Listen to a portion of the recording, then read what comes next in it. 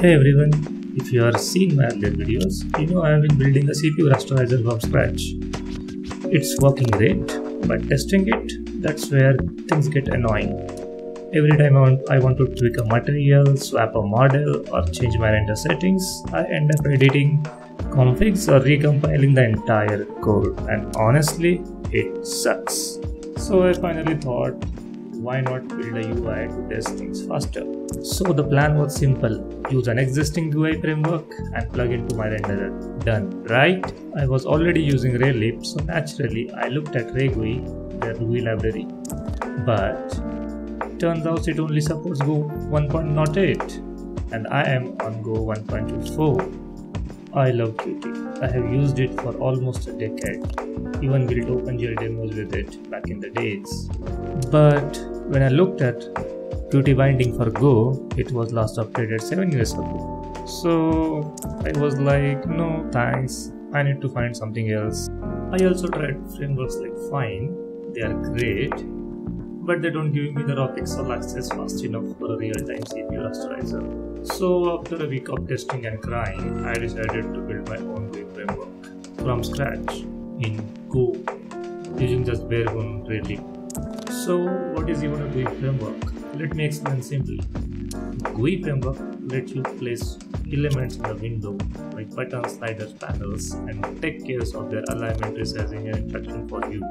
So I started building my own introducing Scratch. Why Scratch? No idea. Maybe because PyCharm calls temporary was that? Maybe. But hey, it's open source. Link in the description if you want to clone or contribute. Here is how GUI framework typically works. You create a layout, define their alignment, add widgets to them, and attach interactive functions. And the framework takes care of the rest. I have implemented the three main layout types you see in most GUIs horizontal, vertical, grid.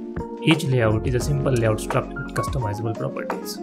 And yes, you can nest layouts to build more complex UIs. Now the boring part. Let's take a quick walkthrough of an example.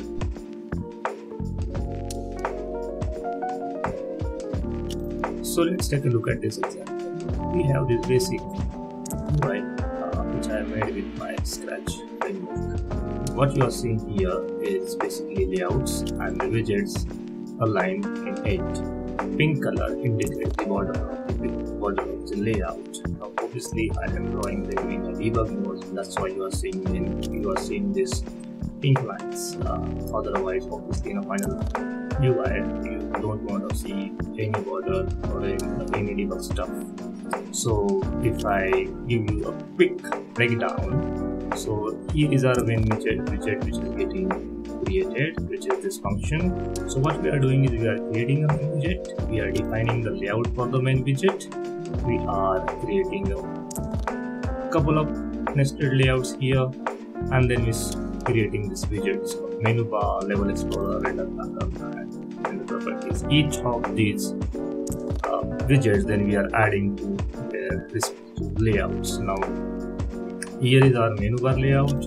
Menu bar layout obviously don't have the title bar because it's supposed to contain menus and then we have this mid panel layout where we have level explorer, game view, properties, window and all of these are vertically sorry horizontally aligned with the mid panel layout which is here and then we have asset browser which we have defined here and it is basically uh, a child of uh, lower panel layout which is again a layout with the horizontal aligning with it. I am keeping it minimal, clean. I know this is basic, just a foundation it's not fancy, there is no drag and drop UI builder, no glowing buttons, no slider with bounce, but I do have a clean, fast foundation built exactly for my game, engine, game engine's need. And as I move forward with game engine development, I will be adding render setting panel, scene explorer, asset browser, etc. etc. If this is the kind of development content that excites you, smash that like button, subscribe to follow the journey. Next up, I will be integrating this UI into a renderer and building a real-time tools on top of it. Thanks for watching. See you in the next iteration of my game engine. Bye bye.